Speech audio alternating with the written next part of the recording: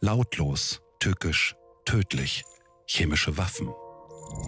Chlorgas gilt als die erste Waffe dieser Art. Deutsche Soldaten setzten es im April 1915 das erste Mal ein.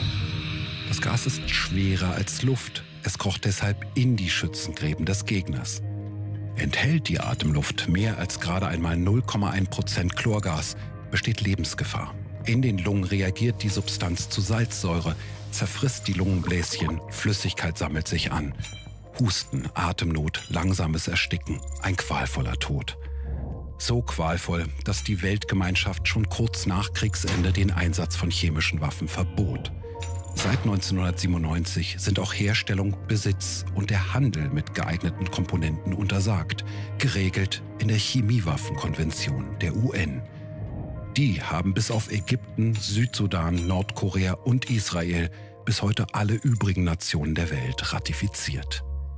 Eines der jüngsten Mitglieder, Syrien. Vor dessen Beitritt 2013 konnte die Organisation für das Verbot chemischer Waffen, kurz OPCW, dort den Einsatz von Sarin nachweisen, ein tückisches Nervengift, das hunderte Syrer tötete.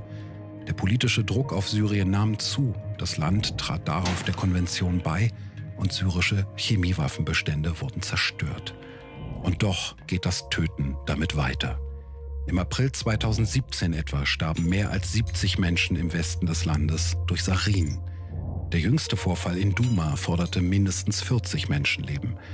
Bis heute hält die UPCW Syriens Angaben über Vorräte an chemischen Kampfstoffen für unvollständig. Die Aufklärung nimmt die Organisation nun selbst in die Hand und kann dabei auf breite Unterstützung der Weltgemeinschaft zählen. Denn ohne die Ermittlungen der OPCW würde es im Syrien-Konflikt wohl auch künftig weniger Scheu geben, diese menschenverachtenden Waffen einzusetzen. Immer wieder.